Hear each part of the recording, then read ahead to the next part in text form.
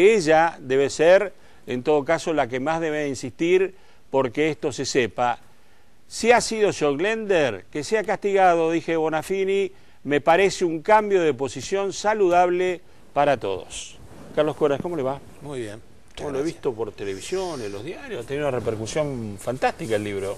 Sí, ha tenido buena repercusión. Este, pero le quiero advertir que esto es una simple aparición en los medios marketinera, digamos. No, no, no, no lo digo porque usted aparezca, no, usted sabe manejarse. Sino porque quiero promoverlo.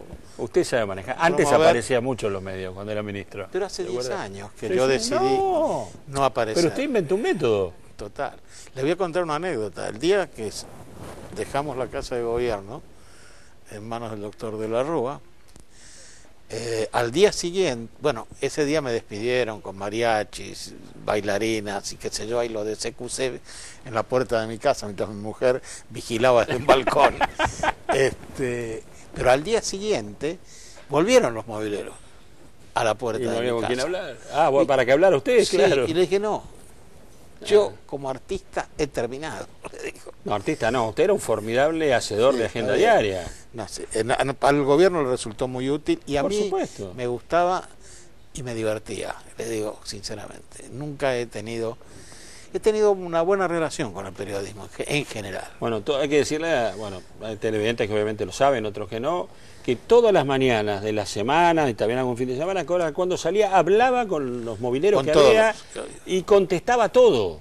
Exactamente. O sea que después se acababan especulaciones, versiones, o había otras especulaciones, otras versiones, otras conjeturas. No, yo no hablaba más durante el día. No, no, usted no hablaba más durante el día. No, Además, nosotros teníamos la, la conducta de hablar con todos, es decir, nunca excluíamos a nadie de, de ningún lado, de la conferencia de prensa, etcétera. Y creo que es interesante decirle que bajo tres premisas básicas que de alguna manera cuando yo conocía a un periodista le transmitía, digo, con estas tres condiciones lo vamos a llevar muy bien. En primer lugar, yo no te voy a mentir. En segundo, no voy a dar mercadería podrida, como dicen en Segureña. Si cuando usted no quería decir algo, no hablaba. Cuando yo no, no puedo Eso decir lo algo, sé yo, lo sufrí yo eso. cuando yo no puedo decir algo, no hablo. En tercer lugar, nunca te voy a pedir que me nombres. Si vos me nombrás, es cuestión de tu noticia y se hace a tu noticia. Y en cuarto lugar, que son las dos últimas, son prácticamente una sola con dos caras, nunca te voy a pedir que hables mal de nadie, ni te voy a dar material para perjudicar a nadie. Y le digo que esto me dio un extraordinario resultado. Y yo y teníamos una relación de un gran respeto y realmente al gobierno le sirvió. Sí, seguramente le sirvió. ¿Usted fue el primer impulsor de la reforma del 94? Bueno, Empezó nos- con reuniones de a uno, de a dos, se veía con todo el mundo. Sí, y empezó acuerdo. usted hablando de la reforma de la Constitución. ¿sabe cuándo? Nosotros hicimos el primer acto oficial en el Salón Blanco de la Casa de Gobierno anunciando nuestra voluntad de reformar la Constitución, ¿Cuándo? sentados en el escritorio del Salón Blanco, Dualde, yo, este, Menem, eh, Bausá, Fapiano, bueno, creo que nadie más, en diciembre de 1989. Claro que en ese momento nadie nos prestó atención No, demasiado, pero usted trabaja. Yo sé pero que usted nosotros trabajamos siempre. en ese sentido. Digo, uno puede velar alguna intimidad, ¿no? Había almuerzos que usted era secretario de técnico todavía, ¿no? Que Coras brindaba para dos o tres personas en casa de gobierno, donde él explicaba lo que pensaba sobre cómo era la reforma Constitución, que bueno, finalmente se hizo, ¿no? Finalmente se hizo. Bueno, nosotros avanzamos bastante en la reforma. Que quiero decirle, es un hecho inédito que deben rescatar todos los partidos políticos.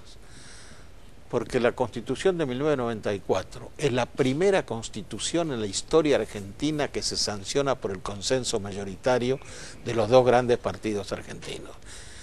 El Partido Justicialista y la Unión Cívica Radical. Ahora- Perdóname, una sola cosa. Hasta ese momento, todas las constituciones de la República habían sido dictadas por los vencedores Claro, por los de vencedores. determinadas circunstancias.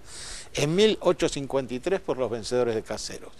En 1860 por, los ven- por la provincia de Buenos Aires que vence en Pavón a la, a la Confederación Argentina. En 1949 el peronismo impone la constitución. Y en 1957 son los militares golpistas que lo imponen. Ah, ahora, Carlos, usted dice esto, lo eleva como un valor este acuerdo bipartidario, sin embargo, lo que dio en calificarse el pacto de Olivo ha sido muy castigado después por algunos sectores políticos de la Mire, Argentina. yo quiero rendir homenaje al pragmatismo, a la inteligencia estratégica del doctor Raúl Alfonsín, el grande, digamos, ¿no es cierto? No el Ricardo. sí. el, el grande, este, que con grandes costos políticos, personales Sí, y políticos, políticos, y de políticos, partido. permitió que la República se diera una constitución extraordinaria, extraordinaria.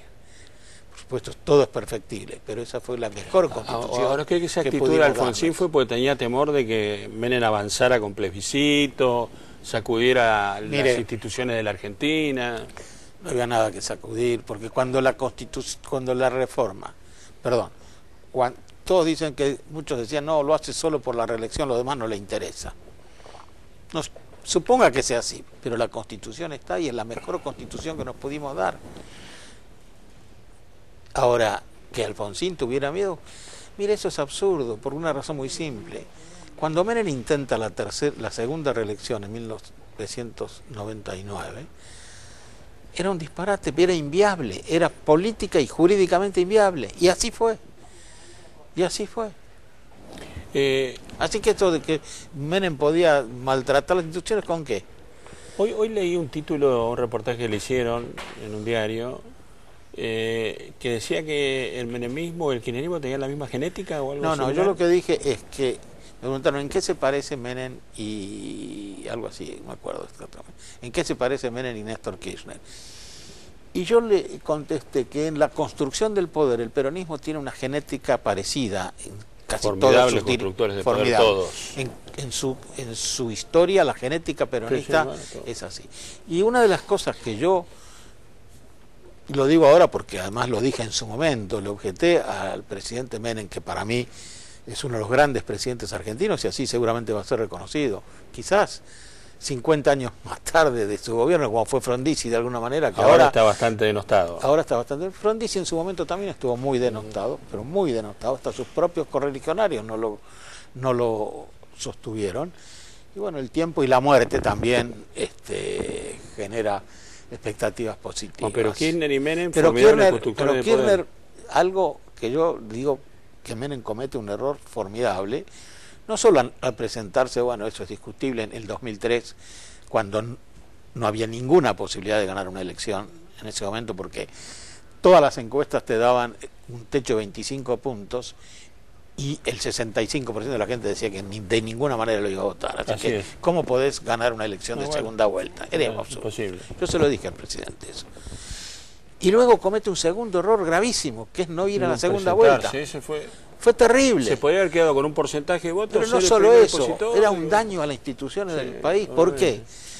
Porque dejaba un presidente 22 puntos. A lo mejor en cualquier lugar del mundo no hubiese sido importante, pero en un país como el nuestro, que venía de una crisis casi anárquica, con varios presidentes y, que, y todo lo que todos conocemos, dejar un presidente de 22 puntos era arriesgar que el país volviera a esa situación. Y lo que yo tengo que reconocer en Néstor Kirchner, aparte de las muchas cosas que critico, es haber sabido reconstruir rápidamente el poder Bueno, presidencial. ese fue su meta apenas ingresó a Me la parece Gobierno, fue correcto. Tener poder, Fue correcto, ¿no? fue correcto. ¿Cristina Fernández de Kirchner construye poder? Mire, yo prefiero no hablar de la actualidad, porque yo ese está sería bien, como un paracaidista, se construye un no. paracaidista rumano. No, Este, usted es un hace observador de 10 la años, política, hace nada. 10 años que estoy. eh, Yo creo que sí construye poder. Yo yo lo digo honestamente. Y creo que está construyendo un poder diferente al de Kirchner también. Ella hereda poder, Sí, sí, si, claro. que- si me permite la expresión, ella hereda poder, mantiene el poder, hace, digamos, eh, mantenimiento respecto del poder que recibió y probablemente lo acreciente. Eso vamos a verlo si es cómo se desarrollan los próximos episodios electorales en el país. Ahora, es, es notable, ¿no? Digo, como hay, bueno, sectores o vertientes del peronismo que están en el poder, estuvieron en el poder, y para los que están en el poder ahora, Menem ha sido la cara nefasta del neoliberalismo en la Argentina. Lo que pasa es que a veces no se... No, primero que se, evidentemente se fabrican enemigos. Uno de los grandes eh, este, habilidades de los políticos es fabricar